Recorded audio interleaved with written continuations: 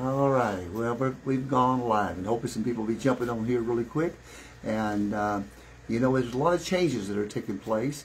And um, as a pastor, one of the things that really has always got a hold of my heart is when I'm with family members, and one of the family members is, you know, about to die, or or maybe they just died, and and uh, and their conscience begins to eat at them.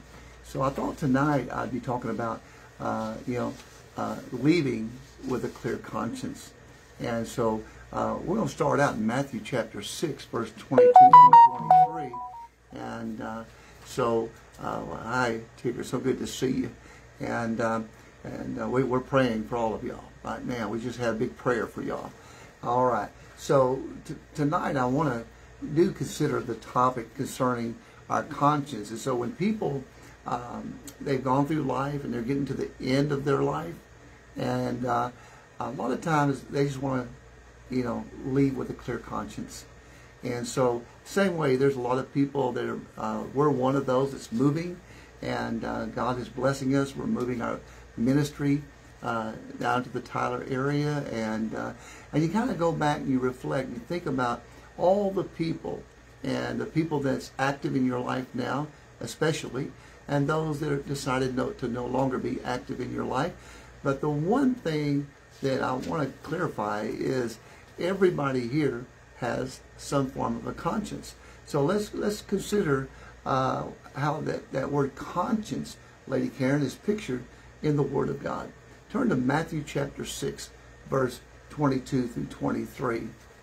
Now, I want to show you some things here. Now, I've, I've always preached on this. In fact, it wasn't too long ago that we, we dealt with, uh, you know, the subject of what about a conscience. So, but I'm talking about leaving.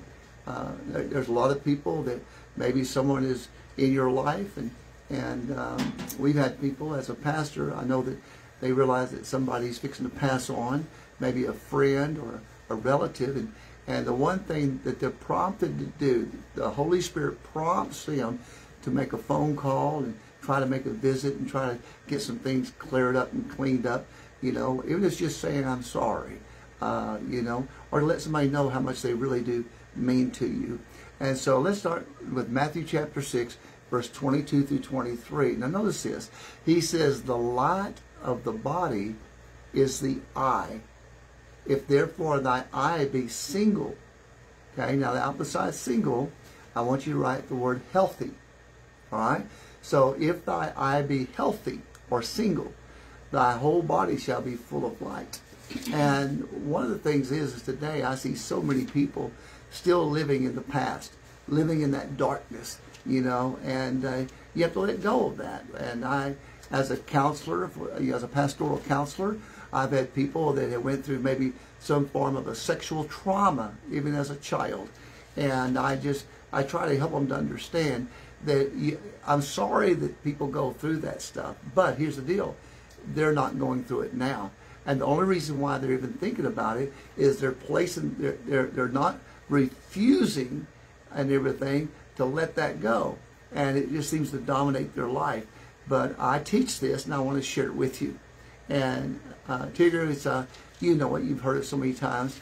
You know uh, what it was is what it was and then you pause and think about whatever the issues was and your conscience begins to bring those things up to the surface. And just think about it. You can't change it. You can't alter it. You can't erase it. But here's the deal. You don't have to dwell on it. Do you get that? You don't have to dwell on it. And so when those memories come to you you just rebuke them right then and there and, and, and force your thoughts onto something else. But what it was it's what it was.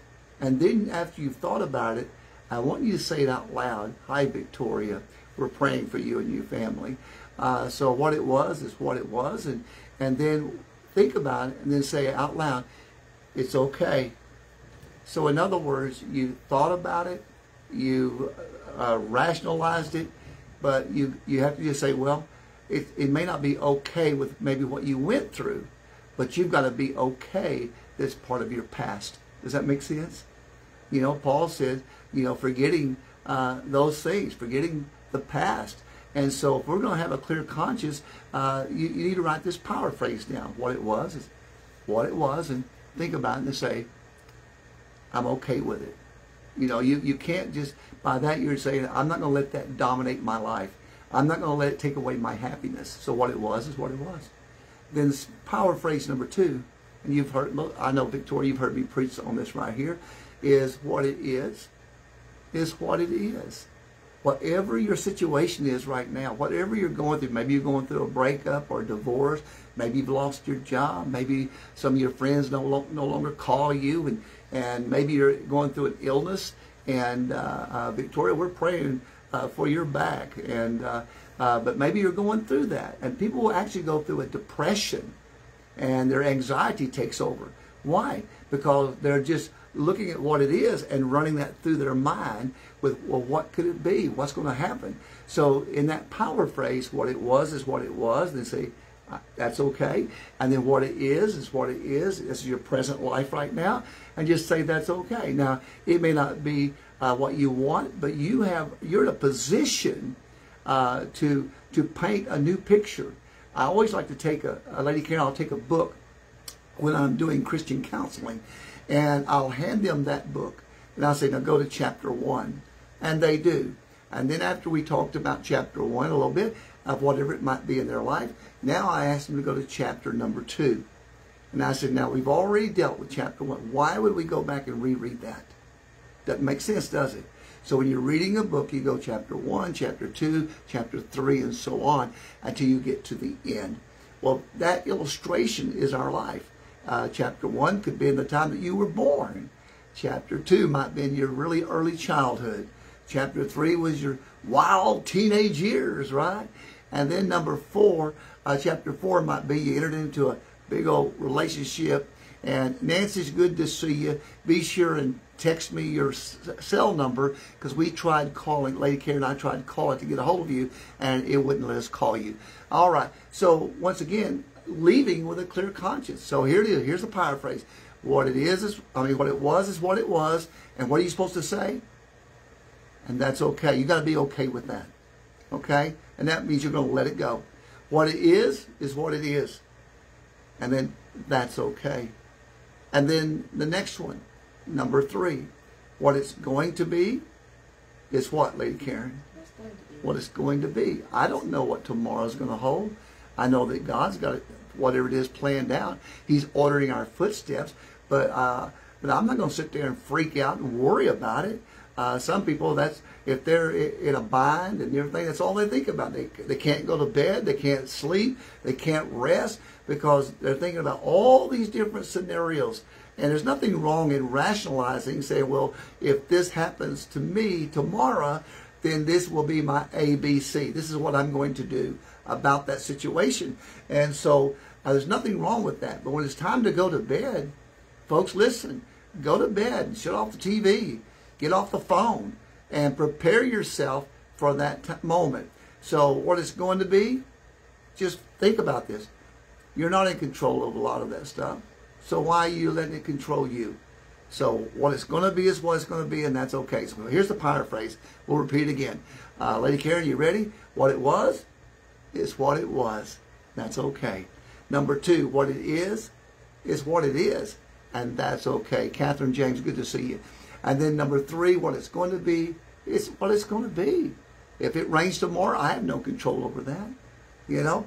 But I've got to be prepared for whatever comes my way. But I'm just going to go ahead and put my trust in the Lord Jesus Christ and just trust Him not only for my getting rid of, help me to overcome my past, but to trust Him to what? For my present and to trust Him for my tomorrow. And then you got to say, that's okay. All right? And then here's the most important, the fourth and final part in everything. And all that matters is my attitude and my actions.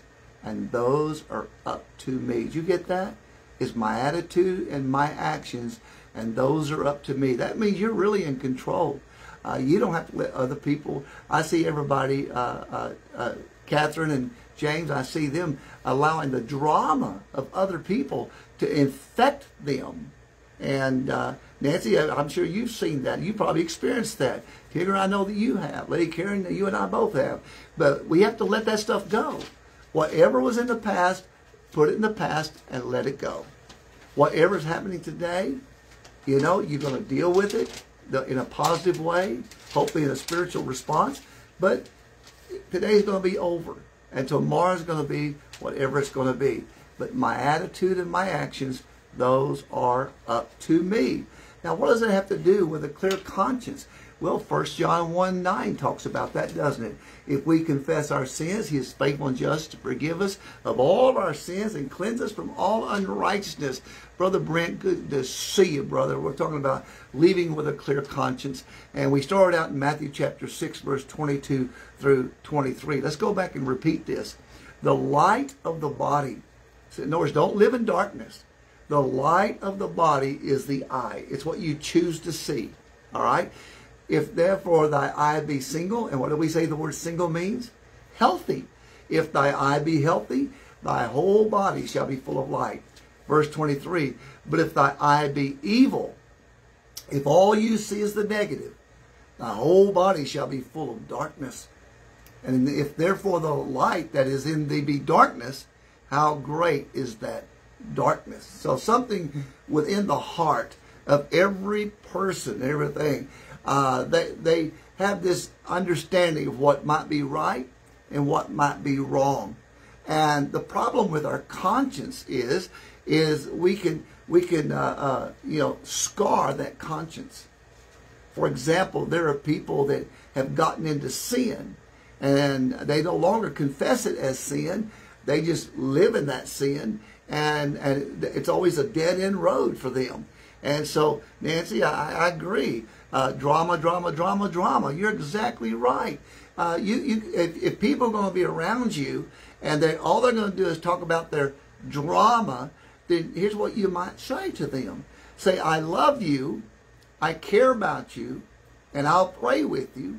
And if you need to talk, we'll schedule the time. And you you got to put down a time. Otherwise, you can spend hours upon hours upon hours while people vent. Does that make sense? Even I, when I do Christian counseling, I schedule all the time. Uh, it's normally a, a one to two hour session, and then we're done. All right? Because after that, it's just rehearsal. It's almost like being around, and I don't mean to make anybody mad, it's like being around someone who's highly intoxicated. All they do is talk about their problems. All they do is blame everybody about it. And then they take another drink, another drink, another drink, another drink, you know, trying to numb it. But here's the deal. Uh, you, you don't have to live in the past. And even though today might not have been a good day, tomorrow is a promise. All right? So uh, please understand this. One of the things that you're going to need to do, if, if you're uh, like us, we're we're fixing to move out of town and we try to contact all of our friends that have, want to interact with us and lady karen had a birthday party and we had so much fun and all of our friends showed up but you know what what if there was a friend that wasn't able to make it for whatever reason. Maybe they were still, maybe they were angry. Well, the Bible teaches us that if there's a problem, you're to go to that person. Now, you may not be able to travel to them, but you can call them on the phone. Does that make sense? Uh, you can send them a text saying, hey, can we talk? But the Bible says if you bring a gift and lay it on the altar for God, God says, no, I'm not going to receive it till you make it right with that person and and you it might be a card in the mail that you send to them saying, "Hey, you know, you you're more important to me than the problem that was created. So I'm sorry. Will you forgive me? And and uh, and let's just reconnect. So the Bible's very clear that once you've gone to that friend and they and you've tried to restore it, then you can place your offering to God on the altar. Now that's important. Why? Because God wants you to be your body to be full of light. Did you get that? To where everything is clear. Uh, my, my, wife, we always tease her and everything. She lives in, in, a butterfly bubble world, and that's all she wants, right? She, she, and I love that uh, because uh, we, we don't want the negative because I don't want it to take away from the, what God had for me today. I don't want to take away what God had for me today. And so, once again, clear your conscience uh, forgive others and, and just do it instantly with no recall of the wrong. Now, that's hard for some people, all right? Why? Because, you know, uh, uh, if you don't forgive them, the book of Matthew says that we're to forgive those who trespass against us. Did you get that? It's so important to let go of that because that's going to pull you down, keep you from moving forward and enjoying the present that you had today. And so uh, you got to forgive others. And some people say, I have, uh, uh, one lady told me, she said uh, on Facebook, she says, I'll forgive, but I'll never forget. Well, of course, you know, you, you got to quit rehearsing that through your mind. And so uh, uh, we talk about this, and God talks about it. So let, let's leave with a clear conscience. Let's leave. Uh, we're leaving Lubbock and moving to the Tyler area. To uh, our home office is going to be there now, and and we're going to be running a couple of ministries there, and, and we're excited about that. But we if if we run across somebody that was still mad at us and everything, I wouldn't have a problem saying, hey. I just want you to know that we love you in the Lord. Now, let me say something here. Sometimes the only way to love somebody is in the Lord, right? I mean, they just rub you the wrong way. But, uh, but you got to let that go. So forgive others instantly and don't spend your time thinking about the wrongs that they've done when you see them. So forgive them instantly with no recall of any wrongs, and that's going to make you feel better. Number two, love a person uh, with real love as often as you can. And uh, one person said this they said, never not take the last phone call. Think about that. Oh, that's that's my mom. I'll just call her back later. Oh, that's my friend. I'll just call her back later. Or that's my husband or my wife. But never take, but never not take the last phone call. Another one was said this: Never let anything get in the way of experiencing that someone in your life. You know, the Bible is very clear that we're not to let the sun go down on our wrath. Did you know that? Bible's very clear. In other words, uh, don't, don't, go to bed and because all you're going to do is dream about it and be angry. You were angry that night. You're going to be angry the next morning, bitter that night, bitter the next morning. So find a way to let the Holy Spirit of God and the presence of God uh, help you to understand that you never, ever, ever let anything get in the way of experiencing that someone in your life, whether it be a friend, whether it be a mate, whatever it might be. And then uh, number three, do all that you can. Now listen carefully. To never damage another person in any way on purpose. Let me say it again. Do all that you can to never damage another person in any way on purpose. And then be determined to not just uh, do good today, but to do your very best every day around anyone that walks in front of you in your life. Okay? So I tell people, don't let, if somebody robs your joy last month, don't let them rob your joy this month. In fact, the Bible even says to come out from among them and be you what? Separate, saith who? The Lord. You know, when Abraham and Lot, they, they got to where all the herdsmen were fighting and arguing over the land. And, and Abraham said, well, you can either choose, you know, the, the lower part like Sodom and Gomorrah, or you can stay in the mountain. But whichever one you choose, I'll take the other. And of course, Lot said, uh, Lady Karen, I'm going to take all, all my men and all of my uh, belongings, and I'm going to just leave you. And he went down to Sodom and Gomorrah, which had a horrible influence on him and his daughters, he, and even his wife. Uh, in fact, if you know the story, uh, God even sent angels to get him out. And did you know that Abraham actually went down there to try to get Lot out? Even though, so in other words, he didn't remember the damage or the hurts or the words that were said. And so because all the herdsmen between Abraham and Lot were fighting, there had to come a time where you come out from among them and be you what? Separate. That means you still love them. You still pray for them, but you're not going to hang around them. All right? And so the uh, uh, first was forgive instantly. Number two was to love a person as deeply as you can and to uh, never take a single moment in life for granted. That person may not be here tomorrow. You may not be here tomorrow.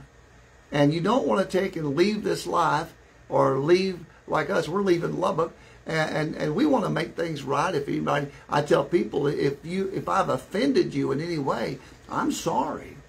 And I, and I mean it. I feel that. I'm sorry. Okay?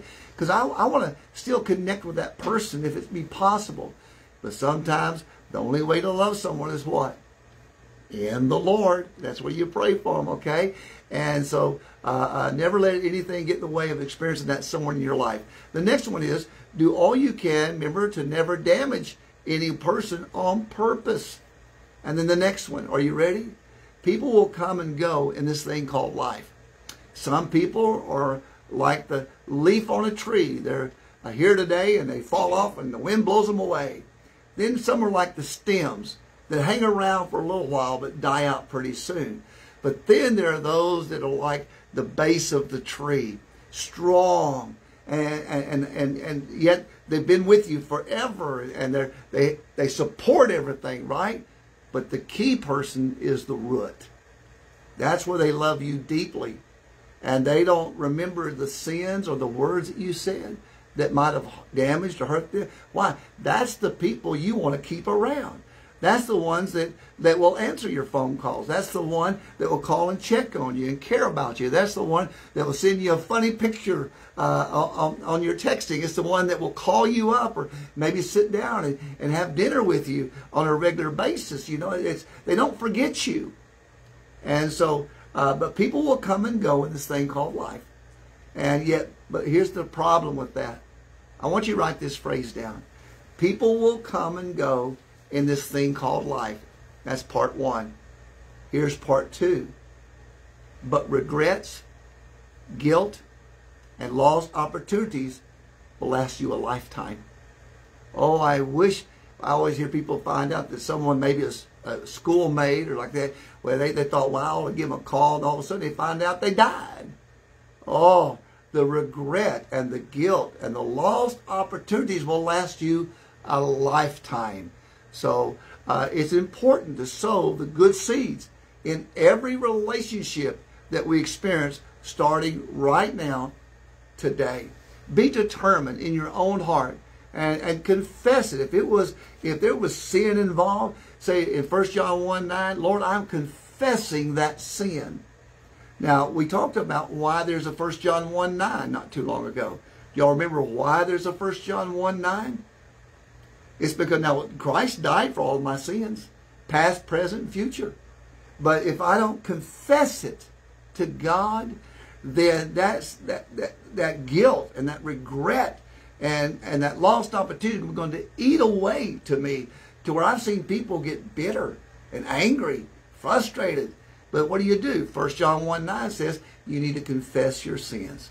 Just need to come forward and say, God, I'm, I've been angry, I've been hurt, and Lord, I, what happened to me, I know it was wrong, but Lord, I keep it running it through my mind. So would you forgive me for my sin? And then he says what? And that God will do what?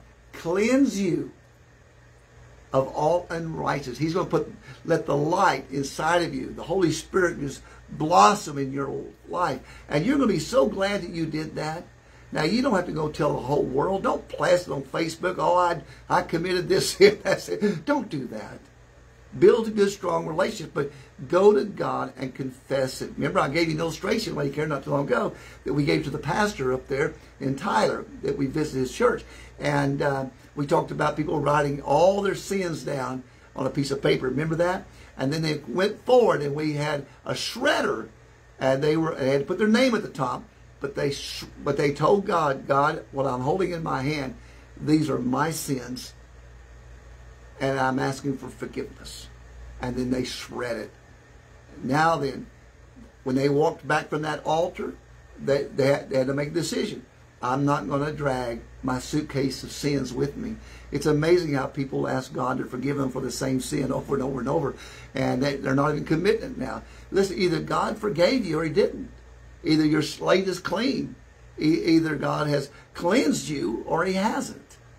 But the Bible says in, in 1 John chapter 2 that we have an intercessor named Jesus Christ, a mediator, a go-between that's always, always standing up for us before God. All right? And, Jesus says, you know, Father, I that sin that old uh, Dr. H committed, that he confessed, did you know I died for that sin too? I want you to forgive him, restore him.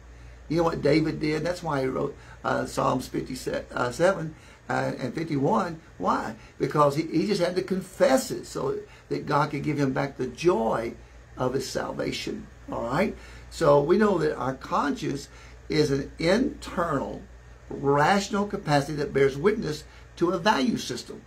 And uh, so you have to understand that uh, I, I, remember uh, there was a, a, a, young man, he was a comedian, and back then he would start to use some foul language, and, and normally that wasn't accepted when I was a child. And, and uh, But all of a sudden he'd say, his name was Flip Wilson, and he said, oh, the devil made me do it. The devil made me do it. Well, the devil doesn't make you do anything. He might put something in front of you, but then you chose. You made that choice, right? The problem with our conscience is we, we if we're raised in a way that is wrong, and, and maybe you're considering uh, an act that is wrong. I, I noticed on YouTube that uh, they had a, a, video, thought it was funny, uh, of these parents giving their children alcohol and they get a little tipsy and they fall over and they thought it was so funny. See, if you're raised that way, you don't know the difference of right and wrong in that area.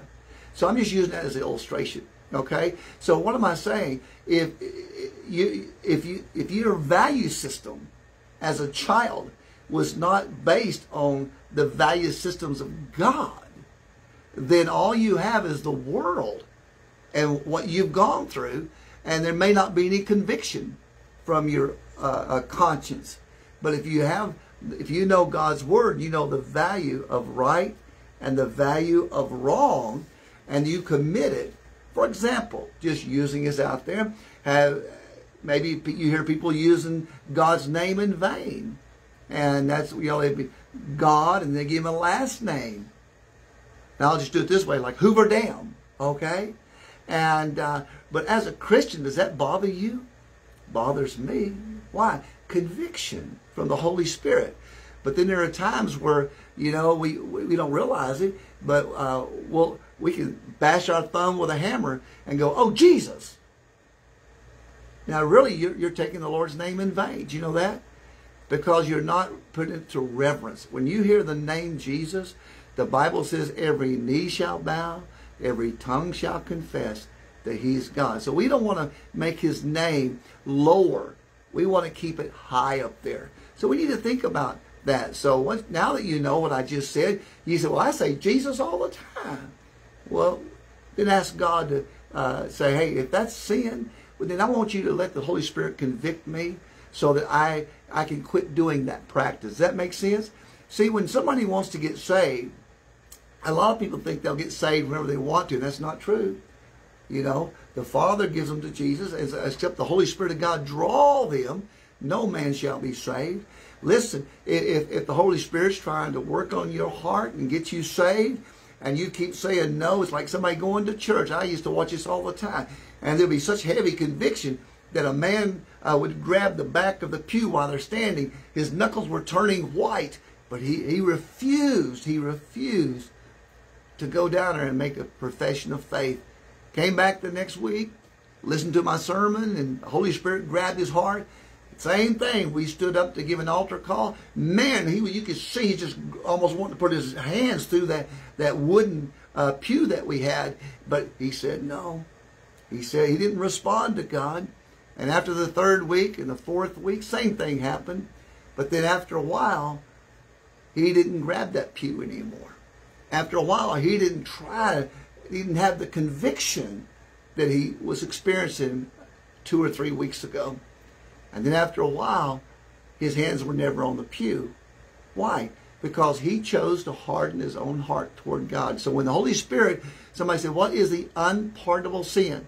The unpardonable sin is whenever you take and, and you refuse the calling of the Holy Spirit to bring you to Jesus for salvation.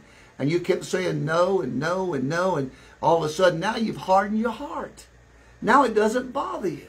In fact, you can go to church and enjoy the singing and, and even say some amens that the preacher's preaching on, but the conviction is no longer there.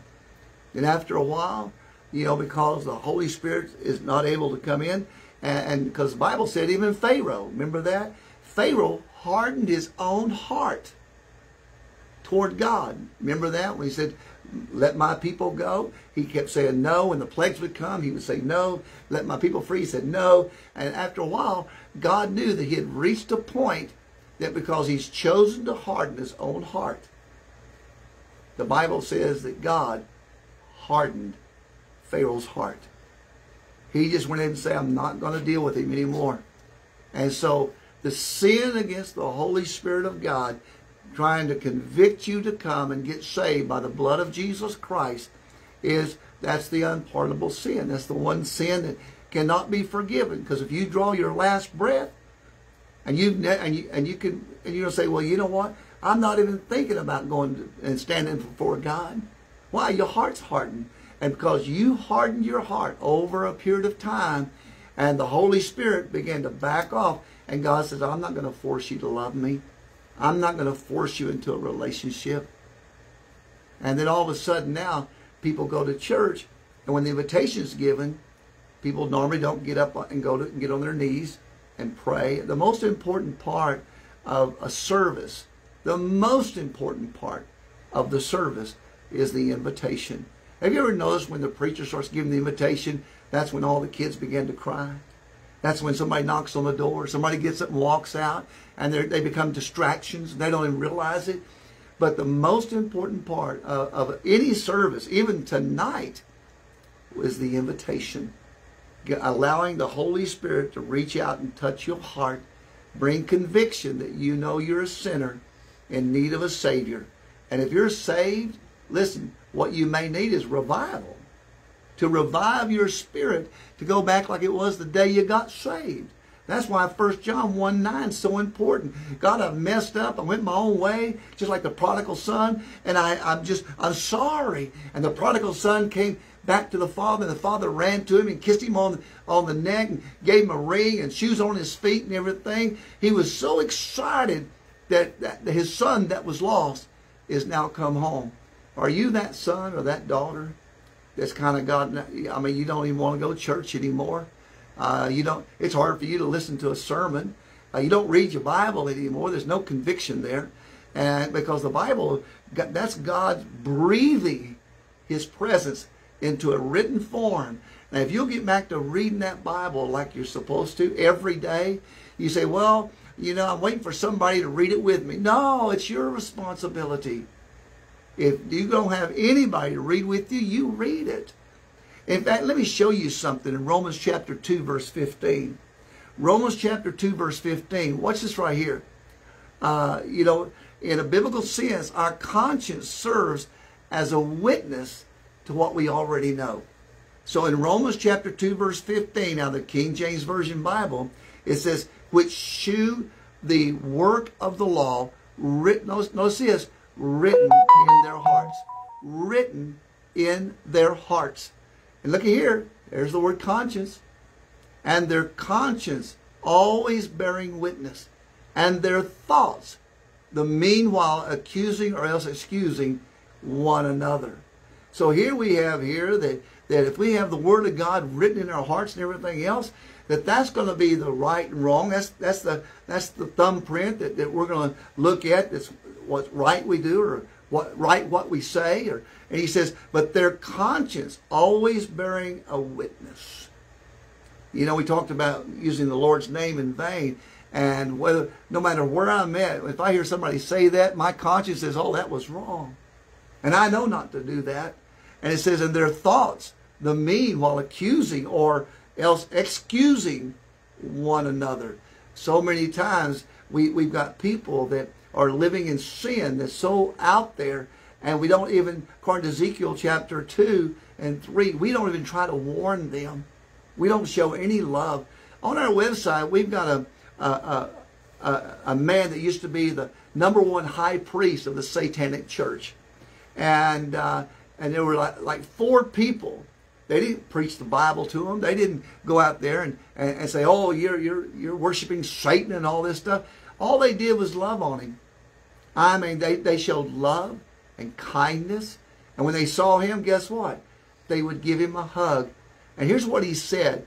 He's, he began to cry. He said, I've never known love until those four people came in my life. And the Holy Spirit, the Holy Spirit was able to bring conviction to him. And so he left the satanic church. And now he's online and and I, I, asked him to be my friend, and he accepted that friend request, and, and he does these little deals. He says, I'm not preaching to you. Now listen, folks, listen. One of the heads of the satanic church left the satanic church in order to share the love of Christ. And that's what he does. And he shares how, how he feels that love. And, you know, how many of you have had that kind of influence on people? Listen to what it says in Romans chapter 2, the last part. It says, and their thoughts, the mean, either, either accusing or else excusing one another. Listen, the Bible's very clear that if you see a brother or sister living in sin, that you're to go to them out of love and you're to love on them and you're to care for them and, and hopefully they're going to maybe the holy you pray that the holy spirit will show them that that's a sin in their life you heard somebody say this you know love the sinner but hate the sin? Same truth here. But in romans chapter 9 verse 1 uh, nancy it says i say the truth in christ. I say the truth in christ. It says i lie not. And here it is there's that word conscience. My conscience also bear me witness in the Holy Ghost. So conscience is a trustworthy guide when it is informed by the rule of God. Let me say it again. The uh, conscience is a trustworthy guide only when it is informed and ruled by God. And conscience can also be suppressed by sin. If we desire to develop a positive habit, and we need to perform an action repeatedly over time until that becomes an automatic reflex. Okay? Like forgiving, like saying I love you, or whatever it might be. But, consciousness can be suppressed. The same process occurs when we fall into sin. We either uh, accuse it or we excuse it. Uh, when we sin, we reject God's authority. That's what Adam and Eve did. They rejected God's authority. And if we repeat that sin over time, the rejection of God's authority becomes an automatic reflex. I'll give you an illustration. How, how many here have read your Bible and you've read Haggai and Malachi and you understand that God says that the tithe, in fact, Deuteronomy, the last part of Deuteronomy, that the tithe belongs to God. And yet, uh, in Malachi chapter 3, it says, God says, You've robbed me. And they say, How have we robbed thee? He said, In tithes and offerings. See, the offering is mine. And if I give an offering, that's just me saying, God, I want to, maybe it's helping out with a ministry. Maybe it's, the other day we bought a hundred new uh, pamphlets to hand out uh, with the book of St. John, a little bit of Romans tied to it. And we got more tracts ordered. Why? Because you see, if, if we repeat our sin over time, we don't realize that sin is simply rejecting God's authority. And so whenever somebody says, well, I don't go to church because they're always talking about money. No, they're not. They shouldn't be. And I'm telling you right now, you as a Christian should not, should not have a problem in obeying the Word of God. Go back and read uh, Haggai and Malachi tonight. It's going to be very, very short chapters, but uh, God said if you want to get it right, then bring the tithes and offerings into the sanctuary. And he says if you do that, otherwise you're cursed with a curse. What does that mean? You're to bring tithes and offerings. If you don't bring return the tithe to God, that's a sin. That's a curse. And if you don't bring your offering to God, that's a sin. That's a curse. That's why you're cursed with a curse. But he said, if you'll bring the tithe and offering back in, he said, prove me now if I will not what? Open you the windows of heaven and pour you out a blessing that you cannot contain. And then he says that the next verse, and he says, I promise. Here's what he said. Let me summarize it. I promise to not let the devil, Satan, Lucifer, and, and all the darkness out there, I'm going to do, I'm going to make sure that they do not totally destroy anything and everything that you have. Isn't that amazing? Not only is he going to open the windows of heaven, but Lady Karen, he's, he's going to fight my battles for me. Does that make sense? So even unbelievers who, uh, and you know, they, they know God's general rules and, and his attributes. They know he's a holy God. And, and they understand the creation ordinances that it was called the uh, uh, Noahide laws, which is the seven laws of Noah. But yet they begin to deny such knowledge of sin. Uh, I've never seen so much openness now for sin. Uh, if you're on Facebook, you see it all the time. If you're on YouTube, you can find it all the time. But Paul says that our unrighteousness, uh, uh we, that we, it suppresses the truth. And the Bible says the truth shall set you free. But you're not going to listen to the truth. Over time, you're going to harden your heart. And so in Romans chapter 1, verse 24, it says, Wherefore God also gave them up to uncleanness. How? Through the lust of their own hearts. To do what? To dishonor their own bodies between themselves. Romans chapter 1, verse 28 says, And even as they did not like to retain God in their knowledge, God gave them over to a reprobate mind to those things which are not convenient. That means uh, uh, acceptable to God. And so believers are also uh, in danger of falling into a very destructive pattern. We know that. Sometimes our sins lead us to doubt. And, and sometimes even to doubt even the reality of God. I've had people that used to come to church faithful, but maybe they went through a hard time. Hi, Starla. Uh, we're talking about leaving with a clear conscience. And, uh, and so here at the end, uh, you have to understand that sin causes our conscience to become seared or corrupted. Because now that we're no longer going to base our lives on what God said, but we're going to do it in spite of what God said.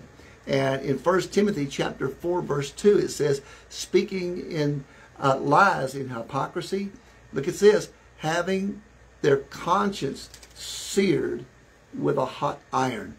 In other words, it no longer bothers them we were talking about tithes and offerings other.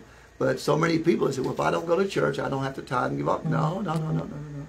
Go back and read Haggai and Malachi tonight and get that right.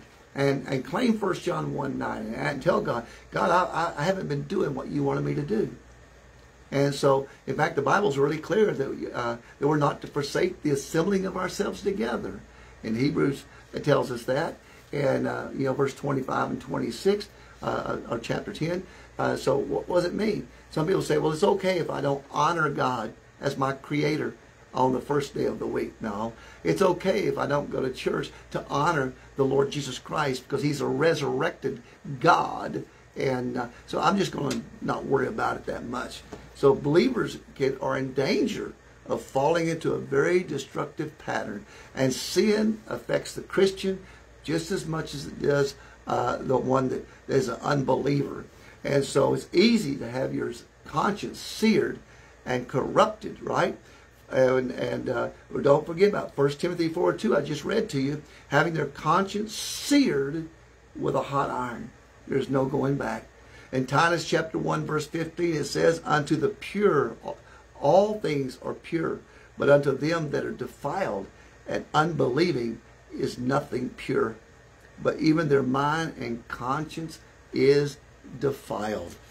So, in order to protect our conscience and keep it working in a working order, uh, we, we need a, when we hear the preaching of the gospel, we need to be thinking about the gospel every day. And so we must call on the Holy Spirit. Here's what I ask you to do. And well, I say I ask you, this is what I do. And it's call on the Holy Spirit and say, Holy Spirit, if there's any sin that's in my life that maybe I'm not even aware of, would you bring that in into my mind so I can confess it and get it right? And so I'm not going to be reprimanded, uh, you know, by, by God, and then I can be blessed by God. Only then can our conscience serve its intended purpose of helping us to conform, listen, to the values of the Creator. As God said, as I am holy, be ye holy. So, uh, listen, we, we conform to the values of our conscience. We feel a sense of pleasure and even a sense of relief whenever we got things right. But when we violate the values of our conscience, it, it, it introduces a thing called guilt.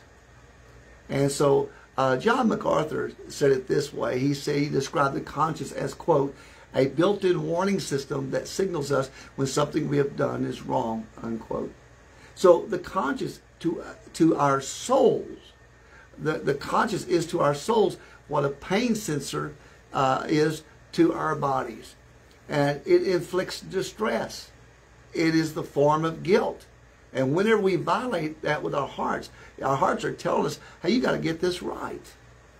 We cannot escape our conscience. Now, we can sear it, we can try to ignore it, but we all have a conscience. We can argue with it, we can defile it, we can harden it, but we, we can never get rid of it. You know, to me today, uh, uh, Starlet, to see somebody abusing a child, you know, I just get really upset with that. But at the same time, if I see um, maybe a husband and wife uh, violating the, the rules of marriage, it ought to bother us today. Uh, you know, our conscience is not the law. Let me say that again. Your conscience is not the law, but it bears witness to the law. It is not a standard, but bears witness to a standard. So if the Bible says that's wrong, then guess what? Well, if it was if the sin was wrong 50 years ago, it was wrong 40 years ago. If it was wrong 40 years ago, it's wrong 30 years and 20 and 10 and 5 and it's even wrong today. Does that make sense? All right. So it, it, Adam and Eve when they sinned, what did they do? You remember did Adam and Eve do? They hid from God. That was their conscience. In Genesis chapter 3, verse 8, and they heard the voice of the Lord God walking in the garden in the cool of the day, and Adam and his wife hid themselves from the presence of the Lord God. All right, we're back. We lost our signal. I always said during the invitation, that's when everything goes wrong. Okay? So let me help you with this right here. Uh, you know, I, I just think that Hopefully something was said tonight. All right, let me readjust this right here. Move my camera around a little bit. Maybe I can get a better connection here. And uh, so I, I just pray that, that something was said tonight and you realize that you may not be here tomorrow and someone you love may not be here tomorrow. Why not just make a list and sit down and, and if you can talk about it and they want to talk about it, so you can both have forgiveness. Whenever I, if I've sinned against you, or if you sinned against me, I want to have a conversation. Listen, listen to this conversation for the invitation, okay? Let's say that uh, I'll say the guy's name is Tom, okay? And let's say Tom and I have been really good friends for years and years and years. But something was said or done, now we no longer talk, we no longer speak. But I need to realize that Tom uh, had value in my life then, and he should have value now. So I would go to Tom and say, hey, Tom, can I talk to you just for a second? And if he agrees to it, I would say, Tom, listen, uh, you know, uh, whatever I've done, I am sorry for that because you mean more to me than whatever we were upset over. And so uh, here's what I'm going to ask you to do. I'm going to ask you to allow me to tell you I'm sorry and I mean it and that uh, if you will, forgive me. And then just pause and wait and see what they may say. And what if they don't want to listen? Well, you've done your part. And you tell them that if you ever want to talk, I would love to have that conversation with you. Okay? So, what, wouldn't that be nice to have a clear conscience tonight? Wouldn't it be nice to know that uh, as you leave, whether it be you know moving out of town or maybe and you have problems with people on the job, wouldn't it be nice to just go and get that squared away so you know that on the day that you leave this world and you and you stand before God and the books are open and your life is revealed, the book of life is there, the Lamb's book of life, but there's a third book. There we are. We're back again. So invitation time, all right? So remember the conscience is like the judge in a courtroom. The the judge does not make the law, he just only applies the law. And uh, our conscience functions according to the laws that we have, the ones that we believe are right and wrong from God. So if we're given a wrong standard, our conscience will still work according to that standard. Okay? So it, it's important that our standards line up with the Word of God. Remember our first verse, Matthew chapter 6, verse 22 through 23? The light of the body is the eye. If therefore thy eye be single or healthy, thy whole body shall be full of light. Verse 23, but if thy eye be evil, thy whole body shall be full of darkness.